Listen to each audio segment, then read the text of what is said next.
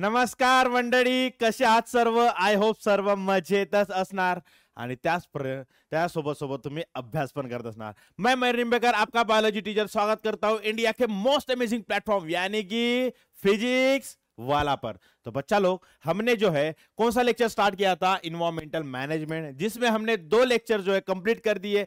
सारे के सारे वहाँ पर चीज़ें हमने समझ ली। मैंने पहले ही कहा था कि ज़्यादा कुछ यहाँ पर दिमाग लगाने वाला ऐसा कुछ चैप्टर नहीं है। बहुत इजी इजी बहुत बेसिक बेसिक है। कचरे को कैसे मैनेज करे, कैसे डिकम्पोज करे, कौन से कचरे को क्या बायोडिग्रेबल डेबल में जाएगा, कौन सा नॉन बायोडिग्रेडेबल में जाएगा। ये सारी की सारी बहुत बेसिक चीज़ है जो आपने बचपन से करी है, वही सब चीज़ें हम यहाँ पर चैप्टर में पढ़ रहे हैं, ठीक है?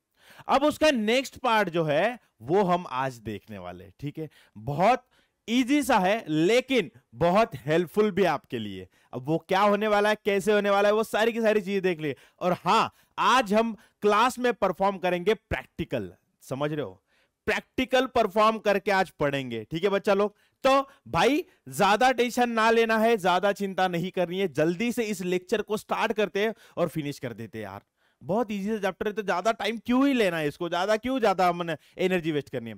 बरोबर आहे मुलांना? चला मग आता सुरुवात करूयात पहिला लेक्चर पहिला सॉरी पहिला लेक्चर नाही थर्ड लेक्चर आहे आपला सॉरी आणि इन्व्हायरमेंटल मॅनेजमेंट हा चॅप्टर आहे. चला बघूयात मग काय? सर्वात आधी आपण बघतो टुडेज टार्गेट क्या है टार्गेट आज का? सबसे पहले वो देख लेंगे. टार्गेट आहे आज आपण बघणार आहोत डिझास्टर मॅनेजमेंटबद्दल. कशाबद्दल बघणार आहोत आपण आज? आज आपण बघणार आहोत डिझास्टर मॅनेजमेंट त्यानंतर फर्स्ट एड काय असतं? ते बघूयात आपण, तुम्हाला तर माहिती आहे फ़र्स्ट एड किट वगैरे हे ते सर्वच आहेत. ठीक है उसको आज देखने वाले उसके बाद basic principles of first aid अगर कुछ हो जाए तो किस तरह से हमें हेल्प करनी चाहिए लोगों की? हम किस तरह से बच सकते हैं? हम किस तरह से लोगों को बचा सकते हैं? वो सारी की सारी चीज़ें आज यहाँ पर हम पढ़ने वाले ठीक है भाई? आर यू गाइज़ रेडी भाई चलो बल्दी से बोल दो। हाँ या ना? रेडी हो? तो चलो भाई, शुरुआत करते हैं आज का फ़र्स्ट मतलब आज का जो है सेशन को शुरुआत करते हैं। फ़र्स्ट फ़र्स्ट क्यों कह रहा हूँ, मुझे समझ में नहीं आ रहा, सुबह से मेरे मुँह में वही चीज़ आ रही है, ठीक है? तो भाई लोग, आप लोगों ने बहुत बार ये चीज़ें देखी होगी। देखी है? जैसे कि अर्थक्वेक भूकंप आ जाता है, ज़मीन हालायला लागते धड धड धड धड धड धड धड धड, आणि मग सर्वच्या सर्व जो इन्फ्रास्ट्रक्चर आहे, जे ह्युमन आहे, पूर्ण जमिनीच्या खाली. आपने बहुत बार ये भी देखा होगा। उसके बाद अभी अभी कुछ सालों पहले आपने कोल्हापुर में एक बाढ़ आई थी, इस तरह से कुछ तो भी आपने ये भी देखी होगी। सही बात है। उस तरह से आपने बहुत बड़ो, बहुत बहुत बड़े तूफ़ान ऐसे आते होंगे देखो, उसे कहते हैं थंडरस्टॉर्म उसके बाद आपने कई बार ऐसे बॉम्ब को फोड़ते हुए भी देखा होगा। ठीक है? बॉम्ब को ऐसे फोड़ते हुए देखो, ये क्या क्या है भाई यहाँ पर? यहाँ पर बॉम्ब फूटा और बॉम्ब फूटने से देखो, यहाँ पर ऐसे रेडियस में कुछ तो भी ऐसे वेव्स निकली, जो कि क्या कर दिए? पूरा डिस्ट्रक्ट कर देते उसके बाद आपने बहुत बार ऐसे वॉर के फ़ोटो भी देखे होंगे वॉर की वीडियोस भी देखे होंगे, कि यूक्रेन और रशिया के बीच में वॉर पाकिस्तान इंडिया के बीच में वॉर कारगिल वॉर ये वॉर वो वॉर ये सारी की सारी चीज़ें देखी होगी और उसी के साथ आपने ये रियॉट्स राइट्स मतलब क्या होता है, इसको दंगल दंगल भी आपने बहुत बार देखी होगी। तो ये सारी की सारी चीज़ें मैंने क्यों दिखाई आपको? क्योंकि इन्हीं को कहा जाता है डिजास्टर इन्हीं को कहा जाता है डिजास्टर आपने वर्ड तो सुना होगा डिजास्टर लेकिन डिजास्टर वर्ड का मीनिंग क्या होता है? मैं आज आपको बताने वाला हूँ। ठीक है बच्चा लोग? कोई दिक्कत, कोई समस्या, कोई परेशानी बिल्कुल नहीं होगी। ठीक है? इतनी बात समझ गया। तो कुछ कुछ जो डिजास्टर है भाई तो वो कैसे है? कुछ कुछ जो है, वो नेचुरल डिजास्टर है। नेचुरल डिजास्टर मतलब नेचर खुद ही कर देता है वो सारी चीज़ें। गड़बड़ी खुद ही कर देता है, उसे नेचुरल डिजास्टर कहेंगे। लेकिन कुछ कुछ जो डिजास्टर है कुछ कुछ जो डिजास्टर है, जैसे कि आपको ये नीचे देख रहे हैं, ये क्या है? ये है हमारे मैनमेड इंटेंशनली करते हैं। इंटेंशन होता है उसके पीछे। ऐसा नहीं होता कि कर दिया और हो गया। उनको पता होता है कॉन्सिक्वेंसेस क्या होगी उसके।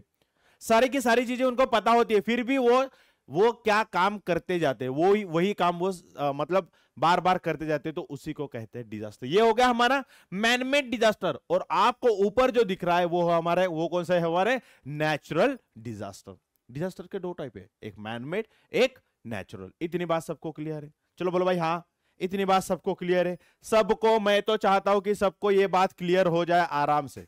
ठीक है भाई इतनी बात सब चलो। तर आता आपण बघूयात ऍक्च्युली डिझास्टर म्हणजे काय? ऍक्च्युली डिझास्टर म्हणजे काय? आता हे आपण याच्यामध्ये बघणार सो भाई डिझास्टर की डेफिनेशन दी है मैंने, देखो. The sudden event that lead to huge loss of life and properties is called as a disaster अब देखो, यहाँ पर वर्ड्स देखो भाई। भाई, मेरे बेटे, मेरे बच्चा, मेरे स्टूडेंट यहाँ पे एक वर्ड देखो दी सडन इवेंट अब भाई सडन इवेंट मतलब कैसे? अभी हमें पता है कि क्या होने वाला है अर्थक्वेक आने वाला है। तो अर्थक्वेक क्या पहले बता के रखता है क्या? अरे भाई सुन ले अर्थ। मैं, अरे भाई सुन ले इंसान। मैं जो हूँ, दो महीने बाद बीस तारीख को आने वाला हूँ, ठीक है? तो तैयारी करके रख ले। ऐसा होता है क्या? या फिर फ्लड बोलता है कि देख भाई, मैं पंद्रह दिन बाद इतना बरसूँगा इतना बरसूँगा इतना बरसूँगा कि पूरा फ्लड आ जाएगा। ऐसे पहले होता है क्या? कभी नहीं होता। ये सडन इवेंट हो जाता है जिसको हम जो है इंसान प्रेडिक्ट तो कर पाते हैं, लेकिन उतने टाइम भी नहीं। मतलब हमें पता नहीं होता कि होने ही वाला है। ठीक है? ये सडन इवेंट हो जाता है। तुरंत अपने आप में धड़ाधड़ धड़ाधड़ बिल्कुल। विद इन ए टाइम बिल्कुल है, ठीक है? That lead to huge loss of life and property अब लाइफ तो है भाई फ्लड आ गया तो बहुत लोग क्या हो गए? डूब के मर गए। अर्थक्वेक आ गया तो बहुत लोग ज़मीन के अंदर धस गए। बहुत लोग जो है, क्या हो गए? वहाँ पर ऐसे बिल्डिंग की बिल्डिंग गिर गई तो बिल्डिंग में जो लोग थे पूरे के पूरे चले गए। वॉर हो गया तो वॉर में क्या होता है कि डू डू डू डू डू डू, वही तो सबको पता है। गोलाबारी चलती है तो उसमें लोगों की लॉस होते हैं। बमबारी हो गई तो उसमें भी लोगों का लॉस होता है। बराबर है कि नहीं? और क्या था भाई हमारा? हाँ ये जो दंगल हो रही थी, दंगल में भी क्या होता है? बहुत लोग अपनी जान गवा देते हैं। समझ रहे हो? तो क्या हो रहा है? यहाँ पर लाइफ का नुकसान हो रहा है। बराबर है? The huge loss of life मतलब बहुत सारे जाने हम गवा रहे उसी के साथ प्रॉपर्टी का भी लॉस हो रहा है। तो देखो यहाँ पर प्रॉपर्टी का लॉस हो रहा है। पूरी की पूरी बिल्डिंग खत्म हो गई भाई। यहाँ पर देखो पूरा का पूरा गाँव डूब गया। ठीक है? यहाँ पर क्या होगा? ये जहाँ पर गिरेगा, वहाँ पर भी कुछ घर वर हो गए तो वहाँ पर भी क्या हो जाएगा? लॉस हो जाएगा। यहाँ पर दुकान वुकान सब, ये धंधा वंदा सब तोड़ा जाता है लोगों का। तो इसमें भी क्या होगा? प्रॉपर्टी का लॉस होगा म्हणजे डिझास्टर म्हणजे काय? असा इव्हेंट जो की एकदम क्विकली होणार सडन इव्हेंट बरोबर आहे? आणि त्याचसोबत त्याच्यामध्ये काय होणार? खूप साऱ्या जीवांची हानी होणार आणि त्याच सोबत खूप साऱ्या प्रॉपर्टीचा पण नुकसान होणार. It's called as a disaster the sudden event that lead to huge loss of life and property is called as a disaster तो भाई जो डिजास्टर है, वो दो टाइप के होते दो टाइप के डिजास्टर होते एक होता है नेचुरल डिजास्टर और दूसरा होता है मैनमेड डिजास्टर एक होता है नॅचरल और दूसरा होता है मॅनमेड आता नॅचरल जो नेचरने आपल्या आपण करून घेतलंय. For example earthquake volcano eruption tsunami landslide landslide मतलब ऐसे? पूरा का पूरा. उसी के साथ हॉट अँड कोल्ड वेव्स थंड वारे, उष्ण वारे येतात. बरोबर? आता उन्हाळा एवढा सुरू आहे, उष्ण वारे एवढं बेकार आहे की लोकांचे जीव चालले पटापट. बरोबर आहे? त्यासोबत काय? स्नोफॉल खूब स्नोफॉल होते खूब स्नोफॉल होते. इतना स्नोफॉल होता है कि लोग मतलब उनका क्या हो जाता है? खाना पीना सब बंद. वहीं पर सब दब के जाते ये क्या हो गए भाई? ये हो गए हमारे, ये एक बार देख लेना आप यहाँ पर कौन से कौन से है। ठीक है? फ्लड आना जाना है, डॉट आ जाना है मेटेओराइट्स का गिर जाना सनस्पॉट साइक्लोन आ जाना, बराबर है? ये सारे के सारे कैसे? नेचर ने खुद तैयार किए हुए हैं।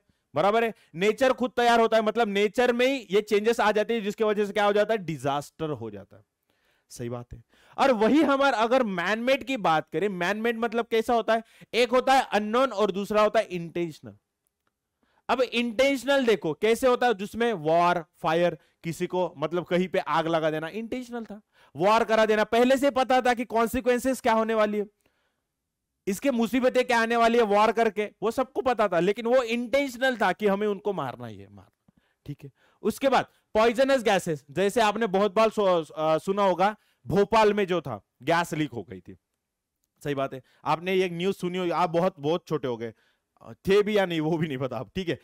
तो बहुत छोटे हो गए। तो उस टाइम पर क्या था भोपाल में जो है गैस लीक हो गई थी। क्या हो गई थी? बहुत बड़ी ट्रेजिडी हो गई कि एक एक केमिकल की फैक्ट्री थी, वहाँ से गैस लीक हो गई और गैस इतनी लीक हो गई कि पूरा भोपाल का मतलब जो शहर था वो एक एक पर्टिकुलर रेडियस में क्या हो गए थे? लोग जो है पॉइजन की वजह से गैस जो है टॉक्सिक गैस इनहेल करने की वजह से मर गए थे। तो ये क्या था? अननोन था। किसी को मतलब इंटेंशनली किया गया किसी ने कि जाके नहीं मतलब गैस लीक कर देता हूँ चलो आज मेरा मेरे आ, जो है मालिक ने जो है सैलरी काट दी तो मैं गैस लीक कर दूँगा। ऐसे होगा क्या? नहीं अनइंटेंशनल था। एक्सीडेंटल था ठीक है? तो एक्सीडेंटल मतलब हम किसमें कर सकते हैं? अननोन में कर सकते हैं। लेकिन इंटेंशनल जो कि हमें पता है कि क्यों कर रहे हैं हम क्या हो सकता है? वो सारी की सारी चीज़ें हम क्या इसमें डाल देंगे इंटेंशनल में डाल देंगे।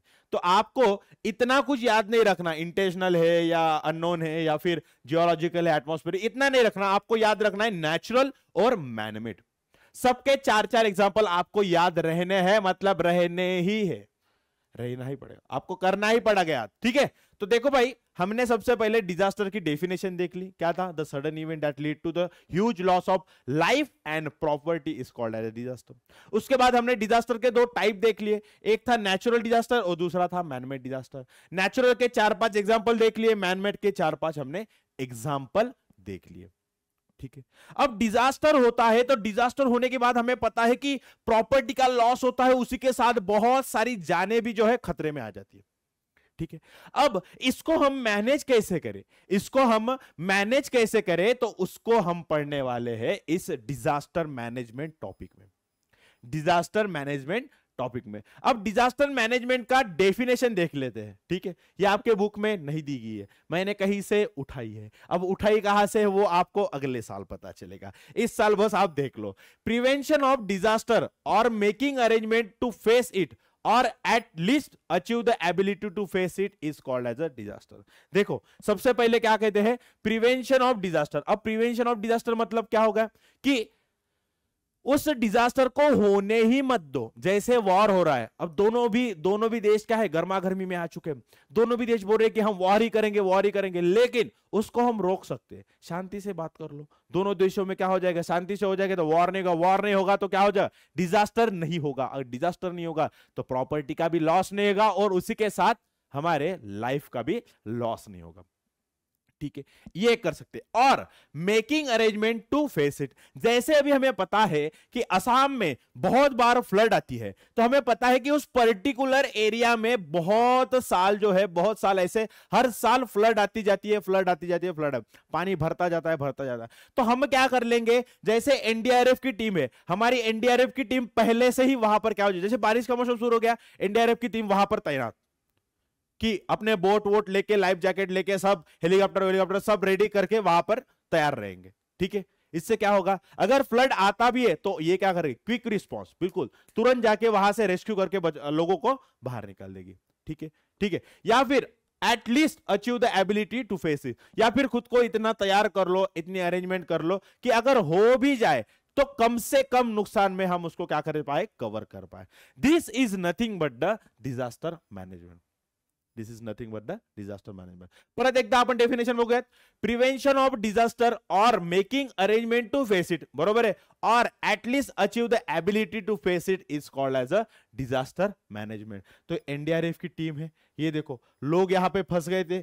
इस, क्या हो गया? ये जो गाड़ी है, गाड़ी पर ये महिला फंस गई थी, ठीक है? वो तो ऊपर चली गई, ठीक है? यहाँ पर पानी बढ़ रहा था। तो ये टीम आई। इन टीम ने क्या किया? इस लोगों को यहाँ पर जो लेडी थी, उसको बोट पे बिठा के लेके गए। ठीक है? या फिर लोगों को इस तरह से क्या किया? उन्होंने पहले ही इंस्ट्रक्ट कर दिया कि देखो भाई, अगर आग वाग लगती है तो इस तरह से बुझाना चाहिए। ये होता है तो उस तरह से करना चाहिए। फ्लड आता है तो आपको ऊँचे वाली जगह पे जाना चाहिए। ये पहले से क्या कर देते? उनको गाइड कर देते। इसके वजह से क्या होगा कि हम, अगर फ्लड तो आता ही रहता, लेकिन हम पहले से सुरक्षित हो जाएगी कि भाई, फ्लड आने वाला है तो पहले ऊँची जगह पे चले जाओ, अपने जो कुछ भी है, ज़रूरी सामान उसको लेके ऊपर से, ऊपर ऊपर की जगह पे चले जाओ। ये सारी की सारी चीज़ें किसमें आती है? डिजास्टर मैनेजमेंट तो अब ये ऑब्जेक्टिव्स क्या है? डिजास्टर मैनेजमेंट करने की ऑब्जेक्टिव क्या है? ठीक है, देखो। Prevention of losses and danger बराबर है। अब ये मैनेजमेंट क्यों कर रहे? क्योंकि हम प्रिवेंट करें लॉस को, वो चाहे वो लाइफ का हो या फिर प्रॉपर्टी का हो। त्याला वाचवायचं आहे की नाही? बरोबर आहे. लाईफ आणि प्रॉपर्टीचा जो काही नुकसान होतं त्याला काय करायचं आहे आपल्याला सुरक्षित करायचं आहे त्यासाठी काय करतो आपण? डिझास्टर मॅनेजमेंटचा काय करतो? प्रॅक्टिस करतो. बरोबर आहे. त्यानंतर इम्प्रूविंग टॉलरन्स जो कुछ भी हो रहा है त्याच्यामध्ये टॉलरन्स मतलब क्या होता है? अपनी जो क्षमता है, उसको बढ़ा दो. मतलब आप हैंडल कर पाओ उन सारी चीज़ों को. ठीक है? ये होगा. उसके बाद providing relief from the disaster minimising the intensity and extent of harm अभी अभी बताई मैंने. क्या होता है? डिजास्टर मैनेजमेंट का क्या करता है? काम ये टीम क्या करती है? Providing relief from the disaster बराबर डिजास्टर तो हो गया तो उससे क्या होगा लोगों को बचाना, उनको बाजू में लेके जाना। ये सारी चीज़ें क्या करते हैं? डिजास्टर मैनेजमेंट में होती है सारे। ठीक है? मिनिमाइजिंग द इंटेंसिटी बराबर पहले से अभी हो गया। हमें पता है कि फ्लड में बहुत सारी जाने जाती है हर बार। लेकिन ये जो टीम है, ये पहले से ही तैनात है तो वहाँ से जाने तो जाने वाले, लेकिन बहुत कम जाने जाएँगे। बराबर? या फिर एक भी नहीं जाने जाएँगे। तो क्या होगा? Minimising the intensity and extent of harm ठीक है?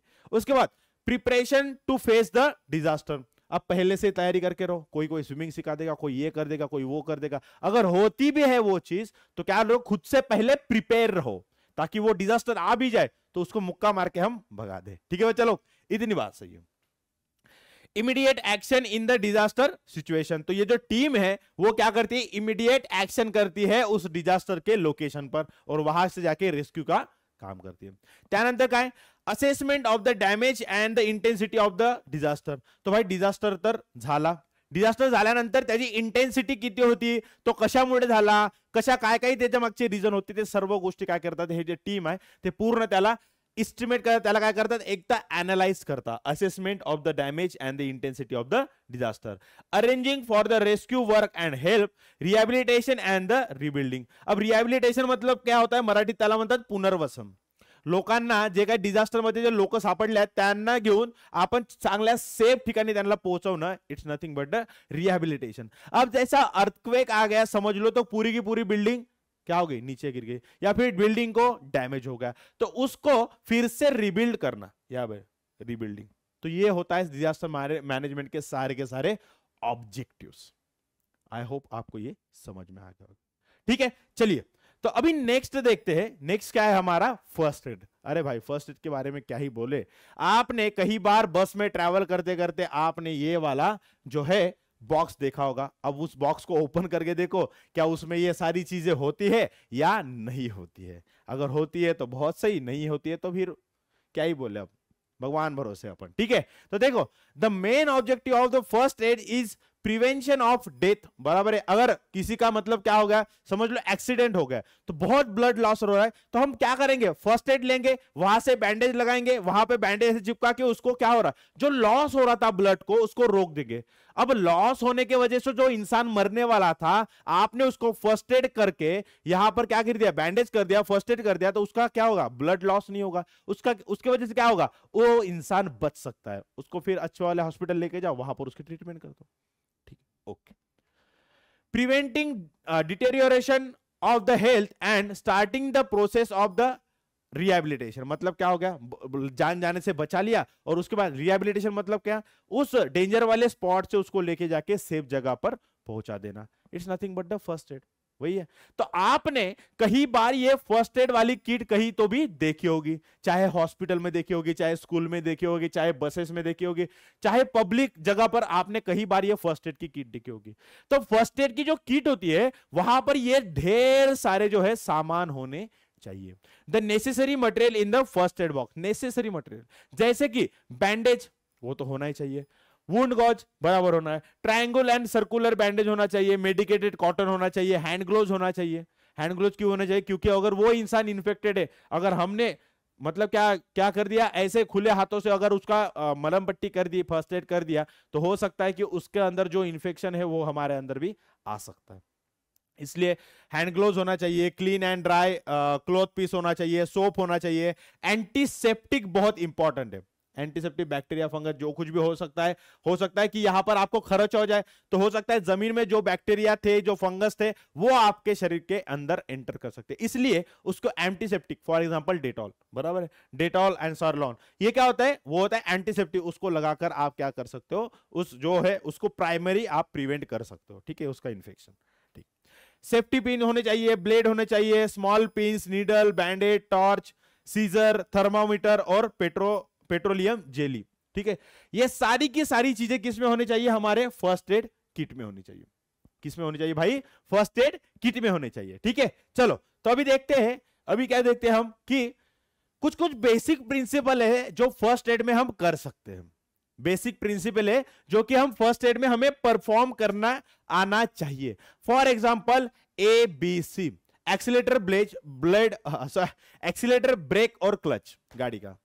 ये होगा क्या एबीसी नाही भाई, वो नहीं है, ठीक आहे त्याच्यामध्ये काय असतं A for airway B for breathing and C stand for the circulation अगर अगर समझ लो किसी इंसान को, इस वाले पार्ट को हम करेंगे प्रैक्टिकली ठीक है? मैं बस आपको ये थेराटिकल समझा दूँगा, उसके बाद हम प्रैक्टिकल पे जाएँगे, ठीक है? फरहान सर जो है, हमारे वो आज का हमारे गिनी पिक बन गए उनके ऊपर हम ये प्रैक्टिकल करने वाले ठीक है? चलो भाई तो वो बात तो लोग हो गई, मैं आपको बताता हूँ। सबसे पहले एयरवे के देखते हैं। तो एयरवे में क्या होता है कि अगर समझ लो किसी पर्सन को, किसी पर्सन को अचानक से सांस लेने में दिक्कत जारी हो कि उसको मतलब बहुत शॉर्ट सांस ले रहा हो या फिर सांस लेने में दिक्कत जा रही हो, तब हम क्या परफॉर्म करेंगे? एयरवे तो एयरवे में क्या करता हो? पर्सन को लेटाना होता है, बराबर ऐसे लिटा कर उसको, उसकी जो चीन ऐसी होती है, समझ लो मैंने, मैं लेटा हुआ ऐसे, ठीक है? तो मेरी चीन कैसी है? ऐसे तो मेरा नेसल पैसेज देखो आप इस तरह से आगे की तरफ़, ठीक है? लेकिन एयरवे में क्या करना है? मेरी चीन ऐसे पकड़ के आपको इस तरह से करनी है। इसका वजह से क्या होगा? जो एयर है वो डायरेक्टली जो है उसका पैसेज जो वो स्मूथ हो जाएगा। ठीक है? इस तरह से देखो, इस तरह से ऐसे जाके ऐसे जाके ऐसे जाके। लेकिन मैं जब ऐसे करूँगा तो डायरेक्टली पैसेज जो मेरा इजी हो जाएगा। तो ये चीज़ कब करनी है आपको? जब ब्रीदिंग जो है आगे वाले पर्सन की, वो जो क्या हो जाएगा, उसको ब्रीदिंग करने में दिक्कत आ जाए, ठीक है? If the victim has difficulty breathing difficulty in breathing the head should be held in a backward slow sloping देखो बैकवर्ड स्लोपिंग पोजिशन और the chin should be raise so that the respiratory passage remain open तो इससे क्या हो जाएगा? Respiratory passage जो है वो ओपन रहेगा। ठीक है, ये सबसे पहली बात होगी। उसके बाद ब्रीदिंग अगर समझ लो किसी इंसान को ब्रीद ही नहीं कर रहा वो, उसने ब्रीदिंग ही स्टॉप कर दी, लेकिन हार्ट चल रहा है उसका, ठीक है। जब ब्रीदिंग ही स्टॉप कर दी, तब क्या करना है हमें कि हमें माउथ टू माउथ जो है उसको, हमें क्या करना है? उसको एयर देना है। मतलब हमारे अंदर, ये एयर भर ली, हमने उसका माउथ ओपन किया, फूक दिया। इस तरह से क्या करनी है? आपको आर्टिफिशियल उसको ब्रीदिंग देनी है। उसको आर्टिफिशियल क्या करनी है? ब्रीदिंग देनी है। देखो if the breathing has stop the victim should given artificial ventilation by mouth to mouth resuscitation बरोबर है? तो क्या करना है? माउथ टू माउथ जो है, अपने को उसको ब्रीदिंग देनी है। हवा ले ली, उसका माउथ ओपन किया। बस, ये सारी चीज़ें हमें क्या करनी है? ब्रीदिंग में करनी है। सही बात है भाई? सही बात है। चलो तो अभी देखते हैं जो लास्ट है C stand for circulation C stand for circulation तो अगर समझ लो, किसी पर्सन की हार्ट बीट रुक जाए, ऐसा नहीं है कि दो घंटे हो गए हार्ट बीट रुक गए तो उसको आप ये वाली स्टेप परफॉर्म करोगे। नहीं। अगर किसी पर्सन आपके पास है अगर उसके अचानक से हार्ट बीट रुक जाए तो आप ये वाली जो मेथड ये परफॉर्म कर सकते हो। कैसे करना है? आपको जो है सिंपली पर्सन को लिटाना है, ठीक है? ये हाथ लेना है, इस तरह से ये पाम पर, ये पाम और इसका जो ये मिडल बोन है, इसके ऊपर रखना है और इसको प्रेस प्रेस करना है। पहले क्या करोगे आप? माउथ ओपन करके, पहले भरने के बाद फिर आप धुप धुप धुप धुप धुप। इस तरह से क्या कर जाओगे? प्रेस कर जाओगे मैंने आपको करके दिखाया है, आप बस ये इसके बाद वो वीडियो मैं लगा दूँगा, ठीक है? देखो, मैंने प्रैक्टिकल करके बताया। If the victim is unconscious then after giving a mouth to mouth respiration ठीक है, पहली बार माउथ टू माउथ रेस्पिरेशन दिया twice the heart should by the heart should by press down hardly by pressing the chest with both the palms ये दोनों की, जो ये चेस्ट है, इसको दोनों दोनों ऐसे पाम लेके उसको ऐसे प्रेस करना है हार्ड ठीक है? एकदम भी नहीं नहीं तो उसके छाती टूट जाए उसकी। उतना नहीं करना भाई, ठीक है? ज़्यादा जोश में आके ये मत कर देना। This two action should be repeated alternately after about fifteen times ठीक है? पंद्रह टाइम आपको दो बार फूक मारनी हो और फिर दबाना है। दो बार फूक मारनी है, फिर आपको दबाना है, ठीक है? This is called as a cardio pulmonary resuscitation बरोबर है? बरोबर, इसको क्या कहा जाता है? कार्डियो पल्मोनरी रिसेसिटेशन, इसको रिसेसिटेशन कहा जाता है। देखो भाई, ये तो थोड़ा मुझे भी दिक्कत जा रही थी उसको प्रोनाउंस करने में, लेकिन मैंने कर दिया। उसको ही हम कहते हैं सीपीआर देना, ठीक है भाई? उसको क्या कहते हैं हम? सीपीआर दिया। Cardio pulmonary resuscitation. It help to bring the circulation back to the normal heart रुक गया मतलब सर्कुलेशन रुक गया। अब हार्ट को शुरू कर दो तो सर्कुलेशन क्या हो जाएगा? शुरू हो जाएगा। ठीक है? तो चलिए इसको हम प्रैक्टिकली परफॉर्म करके देखते हैं हमारे फरहान सर पर, ठीक है? तो बच्चा लोग, हमें बताए एबीसी में फ़र्स्ट है, वो है एयरवे तो उसमें क्या करना है तो अगर समझ लो, किसी इंसान को ब्रीदिंग करने में दिक्कत जा रही है तो आपको क्या करना है? उसको सिंपली ऐसे लेटाना है। उसके बाद उसके बाद उसकी जो चीन है, उसको ऐसे पकड़ के ऊपर के डायरेक्शन में करना इससे क्या होता है देखो, अभी नोज़ की जो पोजीशन है, वो कैसे ऊपर के डायरेक्शन में? इससे क्या होगा कि जो एयर का पैसेज है, वो आराम से हो जाएगा। बराबर है? तो इससे क्या हो जाएगा कि नेजल पैसेज जो है, ऊपर होने की वजह से एयर जो है, आराम से ऐसे कहाँ तक जाएगी लंग्स में जाएगी और उनका जो ब्रीदिंग का जो है वो नॉर्मल हो जाएगा ठीक है? उसके बाद आता है बी बी में क्या होता है? भाई बी में होता है ब्रीदिंग तो समझ लो कोई इंसान अगर उसकी ब्रीदिंग रुक गई है और वो ब्रीदिंग नहीं कर पा रहा है तो तब आपको क्या करना है? तब उसका इस, इस तरह से माउथ ओपन कर ठीक है आपको आर्टिफिशियली मतलब माउथ टू माउथ उसको ब्रीदिंग देनी होगी। मतलब आपको क्या करना आपके अंदर जो भी एयर होगी उसको ब्लो करना है आगे वाले पर्सन के मुँह के अंदर। ठीक है, इसको क्या करें रिपीट करते जाना है रिपीट करते जाना है। ठीक है भाई, चलो, इतनी बात सही है। चलो तो फ़र्स्ट क्या था? फ़र्स्ट था हमारा एयर में जिसमें क्या किया था? अगर किसी इंसान का जो है एयर में ब्रीदिंग करने में दिक्कत जा रही है, तब हमने वो परफॉर्म करा।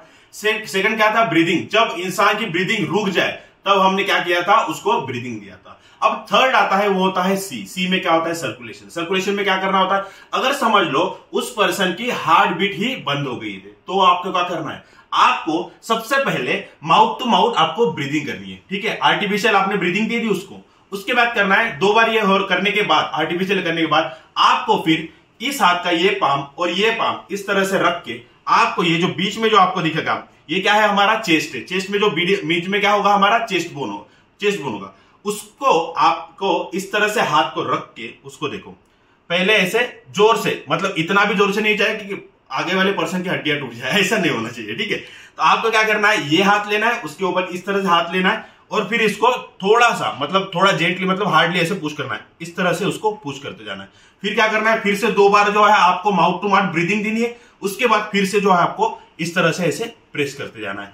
क्या होता जाएगा? इसको रिपीट करना है आप लोग को एटलीस्ट फिफ्टीन टाइम बरोबर किती फिफ्टीन टाइम जर तुम्ही रिपीट केलं, तर एक चान्सेस आहेत की त्याचा जो हार्ट जो आहे तो परत परत परत परत आपला ऍक्टिव्ह स्टेटमध्ये येऊन जाणार। तर अशा प्रकारे आपल्याला काय करायचं याला काय म्हणतात आपण? याला म्हणतो सीपीआर बरोबर आहे? याला काय म्हणतो आपण?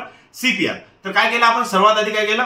की आपण त्याला आधी सर्वात आधी माउथ ओपन केलं. त्यामध्ये आपण माउथ टू माउथ त्याला काय केलं? ब्रिदिंग दिली. बरोबर आहे? आपली जे काही एअर होती त्याला आपण त्याच्या बॉडीमध्ये ब्लो केलं. सो ऑक्सिजन त्यापर्यंत काहीतरी केलं.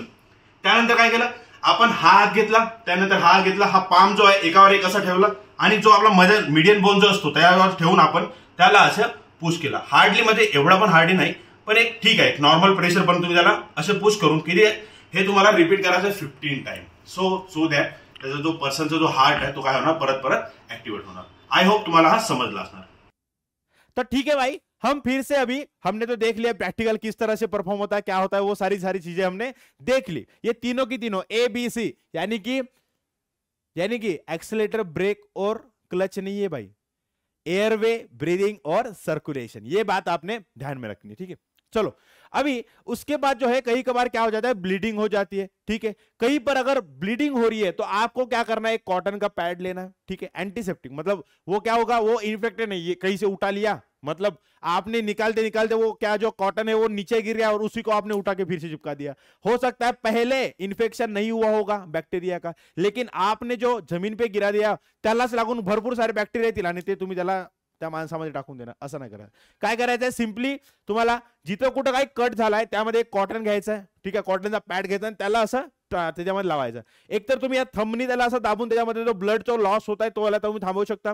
किंवा तुम्हाला हा जो पाम आहे पूर्णपणे याला असा पूर्ण प्रेस करून तुम्ही ठेवू शकता. जेणेकरून काय होणार? ब्लड त्याच्यामध्ये क्लॉट होतो. ऑटोमॅटिकली आपला आपला क्लॉट होतो आणि ब्लड क्लॉट मग काय होतं? ब्लड जो लॉस आहे तो काय होतो? थांबून जातो. ठीक आहे? Bleeding if the victim is injured and bleeding through the wound then the wound should be covered with the antiseptic pad देखो, किसके किसके किसके साथ करना है? Antiseptic pad and press pressure applied on it for a five minute with either thumb or palm ठीक है? पाँच मिनट के लिए एंटीसेप्टिक पैड लेना, उसको चिपका कर, ऐसे चिपका कर रखना है थम से दबाना है, नहीं तो आप पाम लेके उसको ऐसे दबा सकते हो। ठीक है? फॉर फाइव मिनट ब्लीडिंग अगर होती है तो। अगर समझ लो, किसी इंसान को फ्रैक्चर हो जाता है। किसी इंसान को फ्रैक्चर हो जाता है, कहीं पे गिर गया, कहीं पे लग गई, किसी ने आके ठोक दिया गाड़ी को, ये वो साइकिल से गिरे, कुछ भी हो गए। तो उस टाइम पर क्या करना है? आपको उस टाइम पर क्या करना है? जो फ्रैक्चर हुआ, समझ लो ये मयूर सर का हाथ है, मयूर सर का हाथ फ्रैक्चर हो गया। आपने देख लिया कि मयूर सर रास्ते पे पड़े हुए हैं। तो आपने क्या कर लिया? आप आए एक लकड़ी ली या फिर कुछ भी हो, लकड़ी ली और आपके पास रॉड होगा तो रॉड यहाँ पर ऐसा, जहाँ से ये वाला हड्डी टूटा है तो वहाँ पर आपने क्या कर दिया, उसको लकड़ी को ले लिया और आजू बाजू में आपने है, हल्के से उसको बाँध दिया। अब इससे क्या होगा? इससे क्या होगा कि लकड़ी के वजह से जो है हाथ को सपोर्ट मिलेगा। ये प्राइमरी ट्रीटमेंट है फ़र्स्ट एड है अपना ये। समझ रहे हो? ये फ़र्स्ट एड है। मतलब ये नहीं कि लकड़ी बांधी तो हो गया, उसका हाथ ठीक हो गया, मयूर सर का, ऐसा नहीं। ये प्राइमरी ट्रीटमेंट है, ताकि वो और ज़्यादा ना हिले और और ज़्यादा फ्रैक्चर ना हो, इसके लिए, ठीक है? तो क्या कर लिया? कुछ भी जो रिजिड सब्जेक्ट है, ठीक है? कोई भी जो ठोस आहे ठोस वस्तू आहे त्याला इथं बांधून द्या, विषय संपला. फॉर एक्झाम्पल ह्यामध्ये बघा. याला काय केलं एक रॉड असं एक प्रॉपर त्याला काय केलं बांधून टाकलाय. हा तर आपला नंतर ते ट्रीटमेंट झाल्यानंतर करतात, पण अशा प्रकारचं तुम्ही त्याला एक स्ट्रक्चर देता रॉड वगैरे लावू शकता, ठीक आहे? Fracture and impact on a vertebrae if any bone is fracture it is essential that the fractured part be immobilise immobilise मतलब उसको हिलने नहीं देना है. इमोबिलाइज मतलब हिलने नहीं देना है। It can be done with the help of any available wooden rod बराबर है आजू बाजू में जो कुछ भी पड़ा है वुडन का मतलब लकड़ी वकड़ी पड़ी, उसको लगा दिया। क्या है? बॉटन्स रूलर्स मतलब आपके पास स्केल वेल होगी तो स्केल भी लगा सकते हो, ठीक है? If there is an impact on the back of the vertebral column the patient should be kept in immobilise and firm stretcher तो ठीक है, अगर समझ लो वर्टिब्रल कॉलम में, ये जो आपको पीठ के पीछे जो रॉड दिख रहा है, ये हड्डियाँ जो दिख रही है, उसमें अगर फ्रैक्चर आ जाए या फिर आपका जो लोअर पोर्शन है लोअर पोर्शन में कहीं फ्रैक्चर हो जाए तो आपको क्या करना है? आप तो वहाँ पर नहीं बाँध सकते, अब यहाँ पर तो रॉड नहीं बाँध सकते। तो एक स्ट्रेचर लेना स्ट्रेचर पर लिटा देना, और इसको हिलने बिल्कुल भी नहीं देना है। ये प्राइमरी ट्रीटमेंट आपको क्या करनी है? अगर फ्रैक्चर हो जाता है तो। ठीक आहे? त्यानंतर काय? बर्न झाला समजा. एखादी तुमचा हात वगैरे जर जळला तर तुम्हाला काय करायचं आहे? थंड पाण्याच्या आतमध्ये वाहता पाणी ठीक आहे? वाहता पाण्याच्या आधी तुम्हाला जिथं आता समजा हात जळलाय मयूर सराचा हात जळला तुम्ही काय केलं? मयूर सराचा हात घेतला आणि म्हणजे इथून कापून नेलं का? नाही नाही.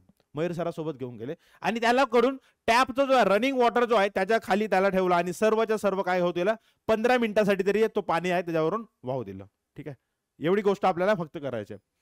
If victim have burn injuries, it is beneficial to hold the injured part under the clean and cold flowing water for at least 10 minutes. दहा मिनिटासाठी तुम्हाला अशा प्रकारे जो आहे तो पाण्याच्या वाहत्या पाण्याच्या खाली तुम्हाला काय ठेवायचा? हात असं ठेवायचं आहे. इतनी बात सबको क्लियर है? भाई यही है प्राइमरी ट्रीटमेंट है जो आपको आराम से समझ में आएगा। लेकिन ये आपके लिए बहुत इंपॉर्टेंट ये पढ़ना क्यों इंपॉर्टेंट है? क्योंकि अगर इन केस देव ना करो, पण तुमच्यावर काही जर अशी कंडिशन आली किंवा तुमच्या आजूबाजूच्या जर कोणावर कंडिशन आली तुम्हाला हे गोष्टी करता आल्या पाहिजे that's why you are learning this in this chapter बरोबर है ठीक है भाई चलो. एक नंबर. तो इसके बाद क्या है? ये राइस दिया है आपको, खाना नहीं है, इसको समझना है. ठीक है? रेस्ट सबसे राइस का जो आर है, वो स्टैंड करता है रेस्ट के लिए. Allow the victim to sit in the relax position ठीक है? किसी को इंजॉय मतलब क्या हो जाता है? पैर वय ट्विस्ट हो जाएगा. काय काय म्हणतो आपण मोच येणे किंवा मोच आ जाना उसको. त्याला अजून पाय जो आहे मुरगटणे, आपण मराठीत म्हणतो त्याला. ठीक आहे? ते जर झालं करू शकता? ठीक आहे? Allow the victim to sit in the relax position R for rest ice ice I stand for ice तो apply an ice pack to the injured part जो कुछ भी मतलब ट्विस्ट हो गया, सा, जो पार्ट है, जैसे पैर हो गया, या फिर हाथ हो गया एंकल वैंकल जहाँ से क्या हो गया था वो ट्विस्ट हो गया था, उसके ऊपर क्या करना है आपको, ठंडी चीज़ मतलब आइस पैक रखना है। ठीक है? ठीक है? ये होने के बाद।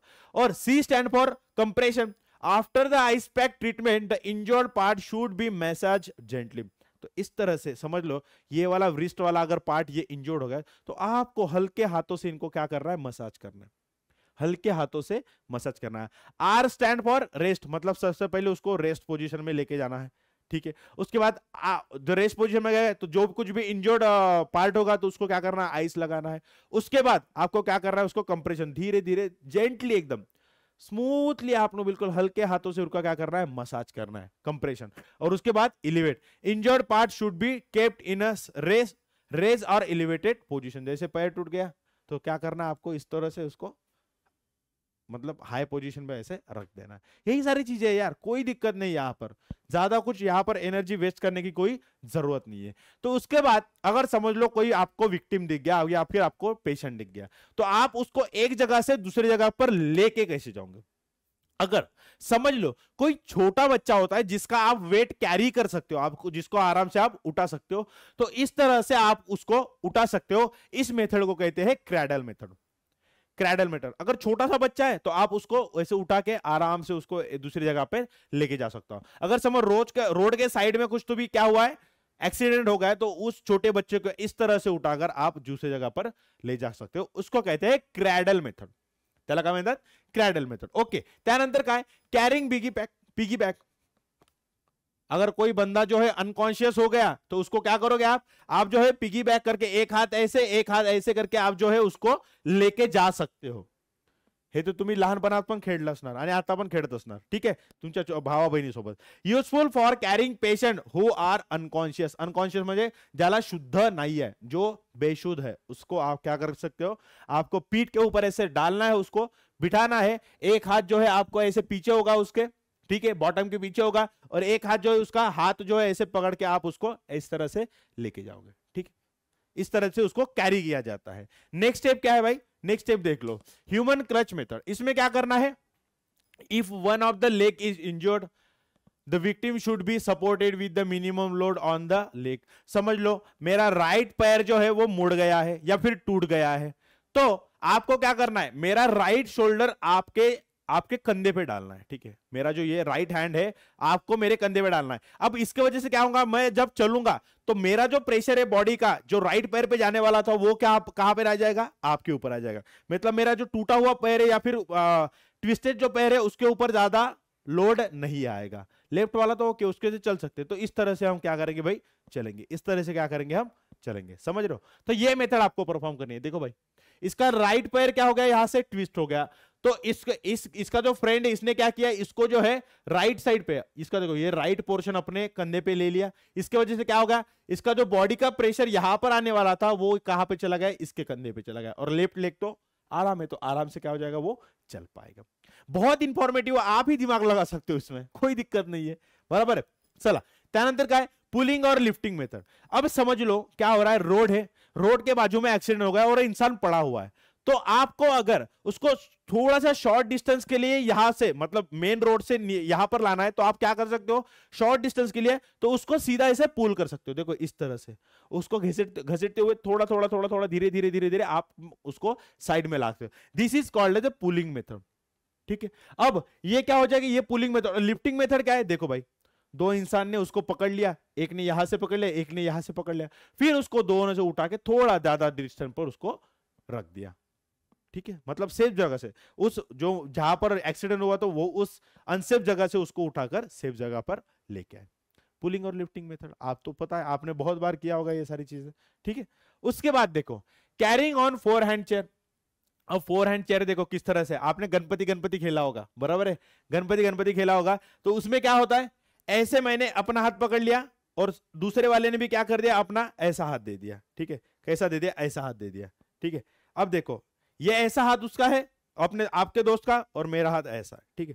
तो ये क्या हो जाएगी? इस तरह से देखो, यहाँ पर क्या हो जाएगा? एक चेयर टाइप हो जाएगा, जगह चेयर टाइप फिर आपने क्या किया? आपका अगर दोस्त का जो एंकल वैंकल ट्विस्टेड है, या फिर क्या हो गया? अगर लोअर जो लोअर पोर्शन है, उसको अगर इंजुरी आई है, ठीक है? It it needed for the part below the waist ये कमर के नीचे अगर कहाँ पर, यहाँ पर इंजुरी हुई है, समझ लो, इस रीजन में इंजुरी हुई तो इस तरह से आप चेयर बनाकर उसको क्या कर सकते हो? बिठाकर लेके जा सकते हे तुम्हाला माहीत आहे तुम्ही खेळलाय गणपती गणपती. त्याला फक्त तुम्ही आता जर एखादी जर घटना घडली तर त्याच्यामध्ये कसं यूज करणार ते तुम्ही बघा. ठीक आहे?